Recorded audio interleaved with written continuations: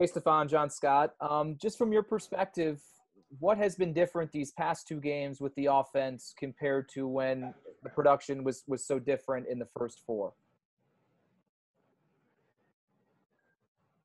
Um, more so, everybody just we're not executing at a at a high level as much as we would like. Uh, as like, the execution standpoint, everybody can do a little more, and we realize that. And uh, we got to help our quarterback out. We got to help out the guys in the backfield. We got to do whatever we got to do to to win games. We've seen a lot more zone. You know, um, in earlier weeks we didn't see that much zone. Uh, at the Tennessee game, we anticipate a lot of guys playing it now. And as far as like growing from it and, and playing some better ball. Thanks, Stefon. Okay, hey Stefon, uh, Mark Gaughan from Buffalo News. Thanks for doing this. Uh, now that you've gotten to see Cole Beasley up close, um, just what uh, what stands out to you about his route running and all his moves?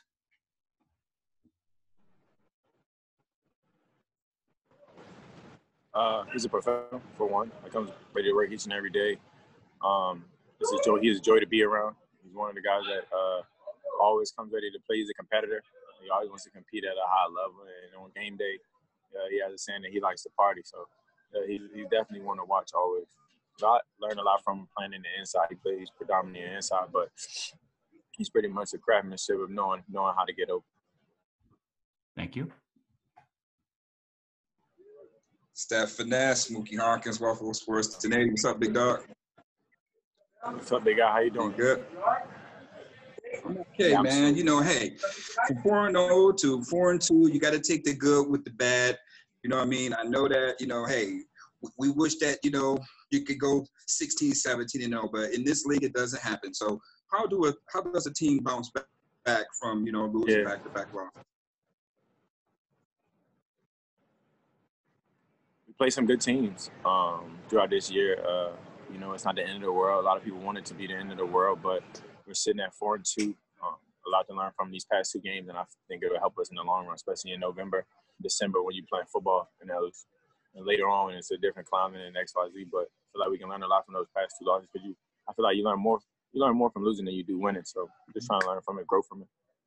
Now, you know, right now, you know what, how everybody's playing you. Don't take a rocket science to figure that one out. So how important is it to really get this run game going for you guys on the offensive side? Uh, it's definitely pivotal. As far as like for the guys on the outside, we can definitely help in the run game. Um, you know, if they're gonna put the two shell on us, we gotta do what we can to uh, block those cover down guys and block the guys that's that's in the mix so we can break some runs and kind of open it up for those guys. Just as far as like being a, being a team player, especially on the outside, uh, you can't do everything. Everybody can just do their job. So that's all we're gonna try to do. Hey man, I like your leadership on that sideline after the game, man. Keep that up. Thanks, big guy. Appreciate you. Yes, sir. Hi, Stefon. Matt Fairburn here. Um, I'm curious, you mentioned teams are playing a bit more zone on you guys. What are the challenges um, when you're going up against zone as opposed to man? Uh, what are some of the keys as a receiver? Uh, challenges in his own. I mean, man to man coverage, you know, you're just beating really one man. You know, in the shell, you really more so finding the spots, finding the see sweet spots in the, uh, the areas you're running the space, just like they are, trying to anticipate where to be and when to be there for your quarterback. So, um, for us as receivers, you know, clearing it up for the quarterback as, as soon as possible, as quick as possible for him is easier for him because our quarterback has, you know, crazy arm talent. He can put the ball anywhere he needs to put it. Um, as far as like being in those spots when you're supposed to be there, uh, timing wise is what we're working through right now. But I feel like it's nothing that we haven't seen before, especially you know guys.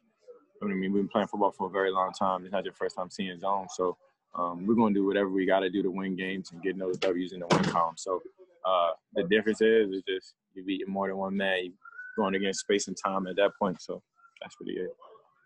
And just out of curiosity, what happened on that penalty at the end of the game? What was your understanding of, of what they were calling there? Out of curiosity, what? What was what was um what happened on the penalty at the end of the game that that you had? What what were they? What was your understanding, I guess, of what they called you for there? What penalty? The one when uh, you were coming back to the line of scrimmage. I think it was on the the last last drive or second last. Oh, drive. we were we were we was in a hurry up. um, and they called me for not being set. Oh, okay, gotcha. Were you? Did you have Yeah. the play call at that point? No, I didn't even. I didn't know the play. Okay, so that's what it looked like. You were Yeah. looking toward the quarterback. Gotcha. Yeah, so I'm, I, I got it late, and then boom, ball snap. So I just gotta hurry up and get back. That's Yeah. Thanks, Stefon. Oh no. Have a good one. Hey, Stefon, you uh, you said you spoke a little bit last week about um, Chad Hall, and I wanted to follow up with you there because I've noticed since he took over, man, that guy is just a ball of energy. Like I love watching him out there with you guys, like running routes, showing how to run routes, and you know, can you just go into that a little bit more, your relationship with him, and and how how great he is with you guys as a group? I've been around a couple of receiver coaches, as we know. Um, all done a great job. Been around a great group of guys. Uh, it's always fun when you've been around when you're when you have a coach that's played the position that he understands that things gonna be perfect, or as far as like when certain routes and X, Y, Z, and how they how they playing a part and just doing your job. So working with a guy like that, a guy that has played the game one, uh, and a guy that kind of understands the position, this always makes for a great relationship because he understands, but uh, part of being understanding, he still makes it a, he still makes it a thing to have you be accountable. You know, still pushes you through, um, regardless on you know being understanding and not I get it, but he don't care about that. He wants you to uh, be at the right depth, be where you're supposed to be when you're supposed to be there, and uh, make the play. You know, it's not not too much not too much uh you know I guess razzle dazzle or magic that goes involved. Make the play, catch the ball that's thrown to you, and uh, run afterwards. Thanks, man. Appreciate it.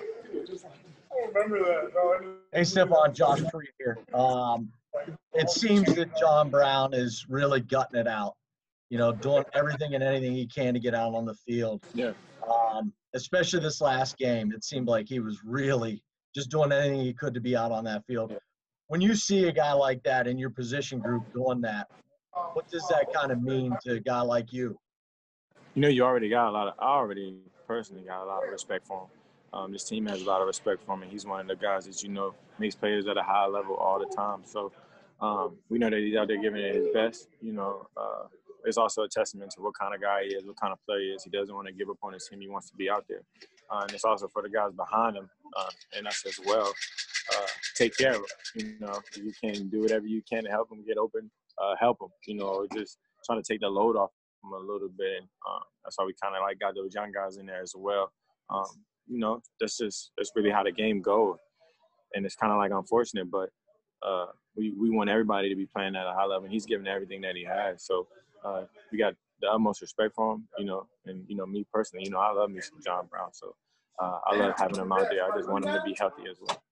A, a healthy John Brown, along with you, how, how much does that change things when teams try to go into a shell? It definitely changes a lot. It definitely changes a lot. You know, not having them really change our game uh, against Tennessee. So um, he's definitely one of those driving forces on our offenses. We got we got some talent on there, and it's, and it's, it's always good when we got all our pieces. Awesome. Thank you, Stefon. Appreciate you.